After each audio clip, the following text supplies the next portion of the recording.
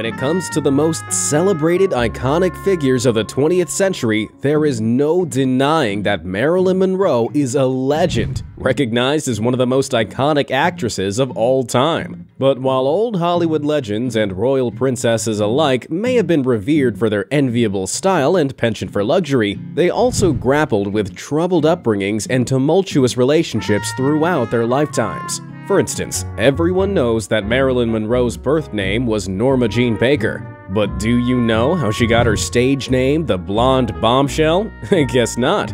Well, not to worry, because in this video, we'll be delving past the curtain of glamorous celebrity to discover some secret moments that humanize this icon of yesterday. So make sure you watch this video to the end, smash the subscribe button for 3 days of great luck, comment I subscribed, and we'll try our best to reply to you.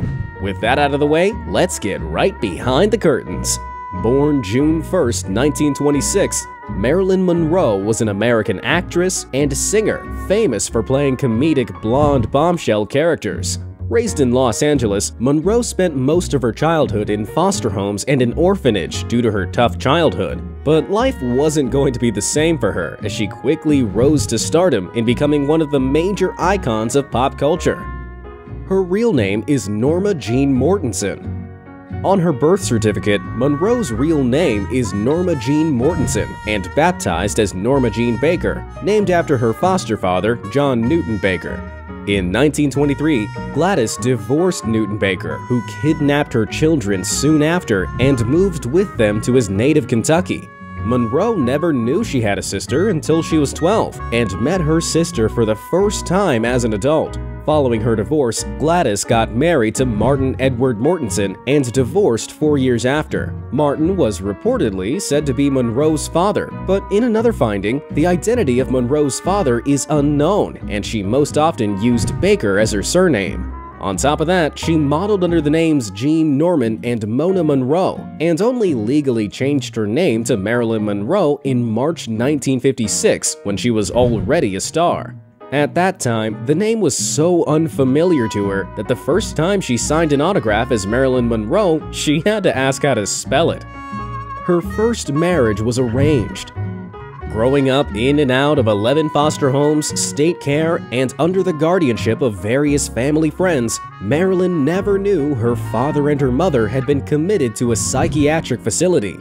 At 15, Marilyn stayed with family friend Grace Goddard, who decided to move to West Virginia and couldn't take Baker. And unless she got married early, she would have been turned back over to an orphanage. To escape the ordeal of returning to an orphanage home, they turned to 20-year-old James Dougherty next door and suggested a marriage. They got married just 18 days after she turned 16. A few years after, she found herself and Dougherty mismatched, and later stated that she was dying of boredom during the marriage and ended up filing for a divorce. She was a major Hollywood sex symbol, in 1953, Monroe starred in three movies where she emerged as a major sex symbol and one of Hollywood's most bankable performers. The first film she featured in was Technicolor film noir Niagara, in which she played a femme fatale scheming to murder her husband, Joseph Cotten. She became her blonde bombshell persona. While her first featured movie, Niagara, made her a sex symbol and established her look, her second film, Gentlemen Prefer Blondes, acted in 1953, cemented her screen persona as a dumb blonde. Based on Anita Loos's novel, the film tells the story of two gold-digging showgirls played by Monroe and Jane Russell. Monroe was fast eclipsing herself as a star who could appeal to both male and female audiences. Though experienced, she hated being in front of the camera. After working with Monroe on Bus Stop, Oscar-nominated actor Don Murray noted that while her talent was undeniable, she was never fully comfortable in front of the camera. She was a very experienced film actress, but she could forget so many of the mechanical techniques. She would constantly miss her marks, so she would be out of focus or out of the light or in a shadow, Murray said acclaimed marriage to Arthur Miller. On June 29, 1956, Monroe and Miller got married at the Westchester County Court with a Jewish ceremony at the home of Kay Brown. With the marriage, she became converted to Judaism, which led Egypt to ban all her films. Due to Monroe's status as a sex symbol and Miller's image as an intellectual, many media, like Variety's headline, saw the union as a mismatch. She married baseball player Joe DiMaggio. After her marriage with Miller, Monroe got into marriage with baseball player Joe DiMaggio. However, they didn't stay married for long. And among the many reasons that led to their breakup was the infamous scene on the Seven Year Itch movie, where Marilyn's skirt flies up. This popular scene had DiMaggio feeling extremely uncomfortable over his wife's overexposure and terribly enraged by it. The couple got into a fight over it, and allegedly, according to some reports, escalated into physical aggression from DiMaggio towards Marilyn.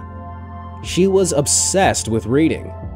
One of Marilyn's favorites was her passion for reading. With over 400 books in her library, she once told a director that found her reading R.M. Rilke's Letters to a Young Poet that when she has nothing to do, she would just go into a bookstore and read a random book. If she liked it, she goes for it. Her dresses are worth millions today. Marilyn Monroe's dresses are worth millions today. One of her famous dresses she wore when she sang Happy Birthday Mr. President to John F. Kennedy sold for a world record price at auction, bringing in $4.8 million. This was one of the defining dresses of 20th century fashion, with instant sensation that turned heads when worn by the likes of Beyonce and Kim Kardashian today. Her estate earned much more money following Monroe's passing, at the height of her career, Marilyn had a million dollar contract for two films. During the same time frame, Elizabeth Taylor was paid $1 million for her role in Cleopatra alone. It's estimated that Marilyn was worth about $20 million at the time of her death, which is nothing to sneeze at. But these days, her estate is making $30 million a year. She had flowers delivered to her grave for 20 years. Before her death, Marilyn Monroe made Joe DiMaggio, her ex-husband, promise to leave flowers on her grave every week if she died before him. He kept her promise and had half a dozen red roses delivered three times a week to her crypt for 20 years. Her later life and probable death. In her later years, Monroe suffered from endometriosis, a painful condition in which tissue from the uterine lining leave the uterus, attach themselves to other areas of the body, and grow, causing severe pain, irregular bleeding, and infertility. And on August 5, 1962, she was discovered dead at her home on 5th Helena Drive in Brentwood. She had a phone in one of her hands, and her body was completely nude and face down on her bed. There was no odor of drugs on her mouth, as would be consistent with suicide pill ingestion. There was also no report of alcohol or water near the bed where she was found, as would also be typical. However, Marilyn's death was ruled as a probable suicide. The toxicology report showed that the cause of her death was acute barbiturate poisoning. When the deputy coroner tried to obtain her other organs for testing, he was told they'd been destroyed. Details like this have become part of the myriad conspiracy theories surrounding the star's death, as she was said to have signed a two-picture deal with Fox that would have been worth $1 million, which would have been the biggest payday of her career controversies surrounding her death. Marilyn's death remains controversial, as many sources believe she was murdered because she threatened to reveal details about her love affairs with John F. Kennedy and Bobby Kennedy. Several publications revealed unverified claims that Bobby Kennedy, Dr. Ralph Greenson, her psychiatrist, and the CIA conspired to murder her with a fatal dose of pentobarbital and an enema filled with broken down Nembutals. As of 2016, these remain conspiracies, not proven statements. Warren Beatty saw her last. One of the last people that saw Marilyn Monroe alive was 25-year-old Warren Beatty, who met her at a producer's home during a party. In a 2016 interview with Beatty, he said the two of them spent the evening together, which involved Beatty playing piano for her and a moonlit walk along the shore, which he described as more soulful than romantic. Unfortunately, Monroe died the next day. Monroe was not the airhead that the public of her time considered her to be. She was a thoughtful, sensitive, and intelligent woman who, by all accounts, was ahead of her time. Both on screen and off, she captured the hearts of many and managed to become one of the most influential women in history. For that, we celebrate her.